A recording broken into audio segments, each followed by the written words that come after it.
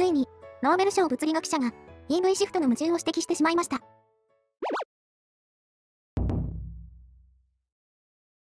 EV の盛り上がりがピークアウトを始めました。欧州や中国が猛烈な勢いで進めてきた EV シフト。しかし、現在はその矛盾が一気に2つも爆発しようとしています。1つは、性能の割に価格が高すぎること。ここ数年 EV の販売台数は急激に伸びてきましたが、その伸び率が2023年にはガクンと落ちると予想されているんです。EV に900万円を出しても惜しくないという人が足りなくなっている。米コンサルティング会社はそう指摘しました。そして2つ目の矛盾はそもそも脱炭素が必要なのかということ。実は今になっていや二酸化炭素と地球温暖化って関係なくね？という声が超有名な学者たちの間からもバンバン出るようになっているんです。EV が持つ最大の長所は走行中に二酸化炭素を排出せず環境にいいことになっている点。脱炭素の必要性がなくなったらその存在意義そのものが消滅してしまいます。というわけで今回はこの2つの矛盾がもたらす EV バブルの崩壊について詳しくご紹介します。それでは行ってみましょう。2023年秋頃から自動車業界はある問題に直面してきました。それは EV の売り上げが全然伸びないこと。昨年と同じくらいには売れているんですけど、その伸び率が頭打ちになっているんです。EV の全世界販売台数は2021年、22年ともに前年の100%近い増加を記録しました。つまり、前の年より2倍多く売れていたんです。ところが、23年の全世界 EV 販売台数は推定1100万台。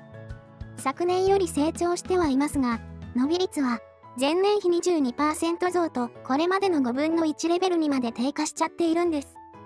ちなみに、23年の販売数を推定したのはアメリカの市場調査企業ガートナー。同国のトップ500企業のうち、なんと7割がこの会社に調査を依頼しているという一流の中でも上積みみたいな会社なので、それなりには信頼できます。それに、現実の自動車メーカーたちも次々と EV 投資の縮小に動いているんです。例えば、米ゼネラルモーターズ GM は韓国の LG と共同で建設していたバッテリー、電気トラック工場の稼働延期を発表。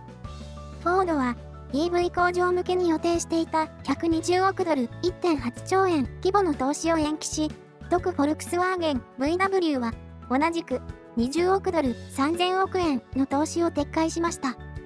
中国版テスラとも呼ばれる上海ニーオ記者ニーユは全従業員の1割にあたる2700人の解雇計画を発表しています。私たちよりもっと市場の動向に敏感な大企業の経営者たちが EV に投資する意味はないと判断しているんです。こういった動きに伴って韓国では半導体不況が続いているのに EV 成長の鈍化でバッテリー不況まで起きるのではないかなんて報道が相次いでいます。EV が売れなくなればそれに乗せるバッテリーも売れなくなるので戦々恐々としているんですね。じゃあどうしてこんな状況になっているかというと、性能の割に高すぎるから。大きな理由の一つは購入しやすい価格ではないことだ。と、米ビジネスインサイダーは指摘しています。アメリカにおける EV の新車販売価格は平均なんと750万円。ガソリン車やハイブリッド車ならもっと安く買えるのに、海のものとも山のものともつかない EV にこれだけの大金を費やせる人はそれほど多くはありません。ディーラーからは EV の購入層が熱狂的なファンから一般客に移り変わっているという声も上がっている。ハイブリッド車やガソリン車も選択肢に入れるような人たちだ。しかし、彼らは EV の高額な導入費用に驚くことが多い。同志はこのように指摘しました。つまり、大金を出してテスラみたいな EV を買う人は、もう、とっくに購入済みの状態になっているんです。そういうファンたちが一斉に EV を買ったおかげで、ここ数年は販売台数もどんどん成長していきました。でも、その先が続かないんです。EV は電費がいいから総コストも安いらしいぞ。とか、非常用電源に使いたいな。とか、そういう EV に好意的な人でも、でも高いから止めておこうという状態になっちゃっています。だから、熱狂的なファンに EV が行き渡った今、その成長率がガクンと落ちてしまったんです。もちろん、価格以外のデメリット、充電待ちの長さや航続距離を気にする人や、そもそも、本当に環境にいいの？と考えている人も EV を買うことはありません。ただ、それ以上に、環境にいいから買いたいとか、充電待ちなんて気にしないって、人でも、高いから買わないってなっちゃっているのが、成長率鈍化の大きな理由なんですね。それに、近年は、地球温暖化と二酸化炭素との関係にも、懐疑的な声が上がっています。2023年7月、昨年のノーベル物理学賞を受賞したジョン・ F・ クラウザー博士は、韓国で行った講演で、気候変動に関する物語が人々に流布されている現状は科学が恐ろしいまでに腐敗していることの表れだ間違いだらけの気候科学はセンセーショナルな報道のためのエセ科学と化していると指摘しましたなぜ気候科学がエセ科学なのか？博士の真意は気候科学が実験や観測より理論を優先していることにあります科学の原則は理論、仮説を実験と観測で証明すること。博士の受賞理由も、量子も連れという理論上の現象を実験で証明したことにあります。この現象の説明は省きますが、かつてはアインシュタイン博士ですら、不気味だ、ありえないと否定し続けたくらい、奇妙な理論上は存在する現象でした。ところが、クラウザー博士らの実験によって現実世界でも起きることが証明されたんです。一方、現在の気候科学は観測が否定する理論を守り続けています。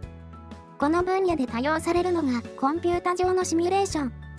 しかし、その結果が現在の観測と高精度に一致することはありません。でも、二酸化炭素が地球温暖化を引き起こしている証明理由もこのシミュレーションなんです。ほら、俺の設定した地球だと二酸化炭素の増加で温暖化が起きる。これが原因なんだ。あっそうだ。20年前のデータを入力して今の地球を再現してみよう。あれ、全然観測結果と違うぞ。まあいっか。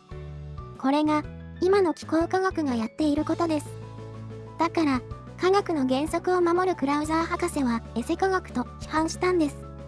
博士は講演でこう続けています。気候危機の存在は証明されていない。一方で、より重大な現実的な問題が存在している。それは、世界中の生活水準を向上させなければならないという問題だ。それに伴うエネルギー危機問題は、誤った気候科学によって不必要に悪化させられている。つまり、地球温暖化対策として脱炭素を進めているけど、そのせいで生活水準の低い途上国の人々が石油を使えずに苦労しているじゃないか。って指摘したんです。まさにその通りですよね。先進国なら火力発電の代わりに太陽光や風力、原子力なんかが使えますが、途上国では火力発電以外の選択肢はほとんどありません。でも、脱炭素を大義名分として掲げる先進国のせいで、途上国までこのエセ科学の被害を受けているんです。このように地球温暖化と二酸化炭素の関係に懐疑的な声を上げる科学者はクラウザー博士以外にも多数存在しています。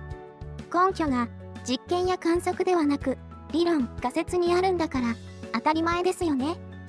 それに人類が放出する二酸化炭素は地球全体から見たら微々たる量に過ぎません。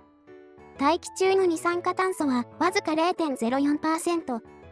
このうち人類が放出したものは3%だと推定されています。つまり、人類が増やした二酸化炭素は、大気全体のわずか0.0012%。いくら放出量を減らそうとも、逆に増やそうとしても、大規模な影響にはつながりにくいと考えられているんです。そう言うけど、最近は異常気象だって増えているじゃないか。と思うかもしれません。ただ、実際には台風や豪雨の発生件数は横ばい状態。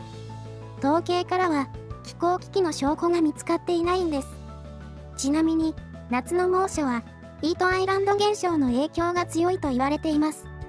コンクリートやアスファルトが熱を溜め込み、立ち並ぶビルによって高温の空気が逃げられなくなるという現象です。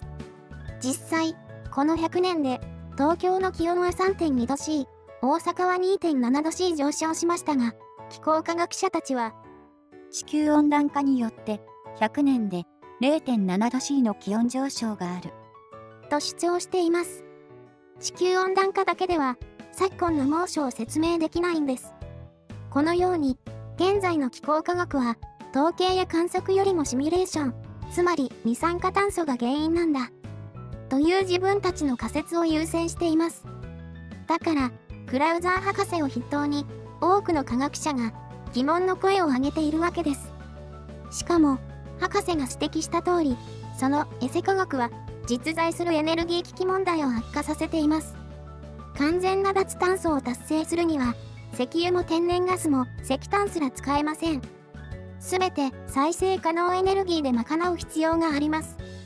しかし、それらは化石燃料より高コスト。日本でも、そのコスト差を埋めるために、再エネ賦課金が電気料金に上乗せされて消費者から徴収されています。途上国はもっと大変です。そもそも、火力発電所を建てるお金がなくて、国際機関や他国から援助してもらっている状態なのに、再エネ発電施設なんて夢のまた夢。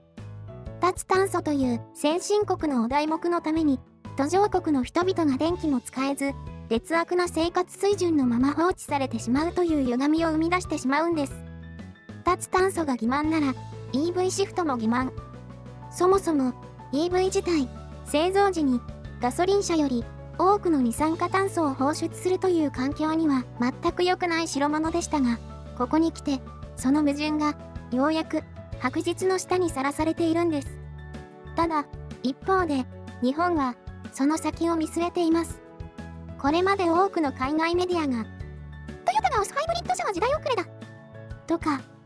欧米が終える火力発電を日本だけは続けようとしている。とか散々に批判してきました。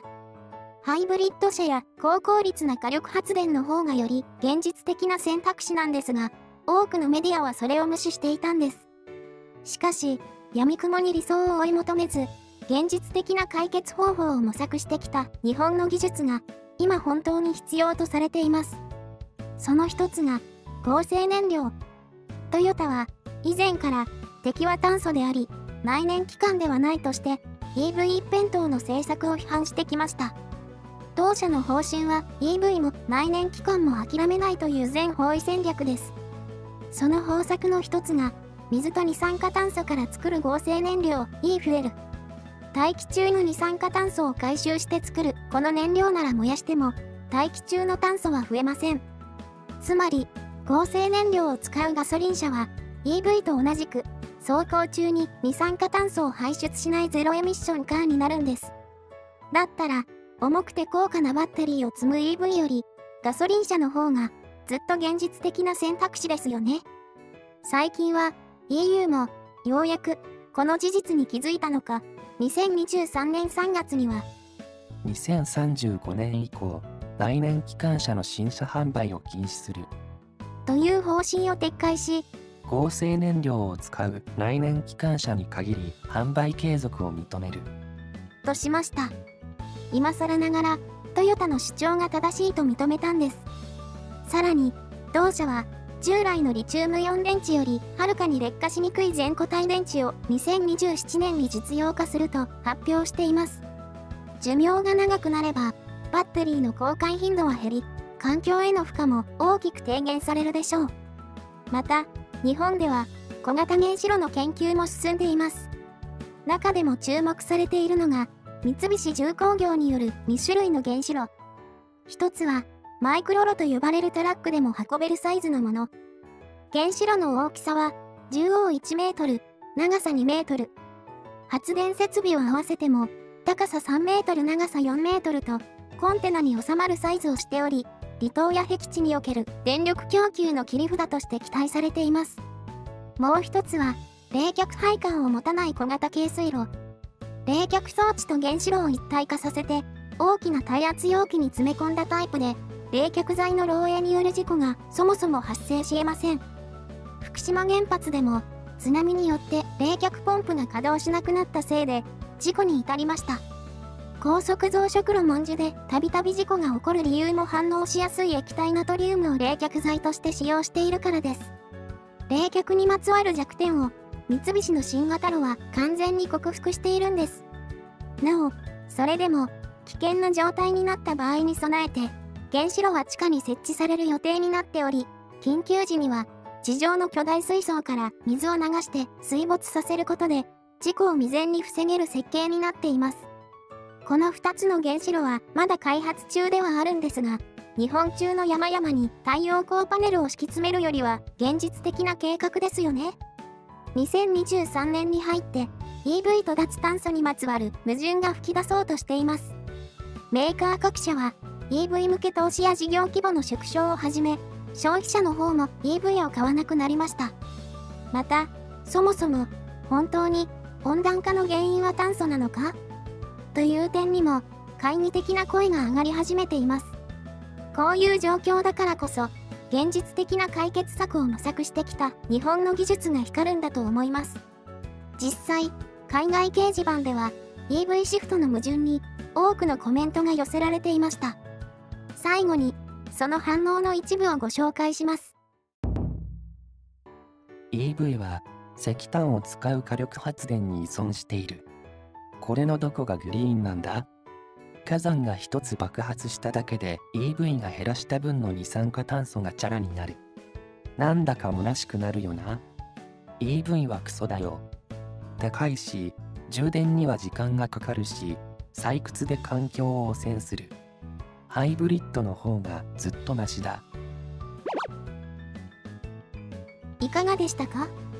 今回は EV 販売台数の伸び率が鈍化していることと気候科学のエセ科学っぷりについてご紹介しました。地球温暖化についてはまだ証明されていないけど本当に二酸化炭素が原因だったという可能性もなくはありません。ただ EV についてはどう考えても環境を悪化させていますよね。そもそも EV 推進派は停電が頻発する途上国にも充電スポットの整備を求める気なんでしょうか？普及させるにしてもプラグインハイブリッドが限界ですよ。世界中の人を騙してきた EV シフト、脱炭素という欺瞞がついに爆発しようとしています。よかったら皆さんの意見や感想も聞かせてください。それでは最後まで見ていただきありがとうございました。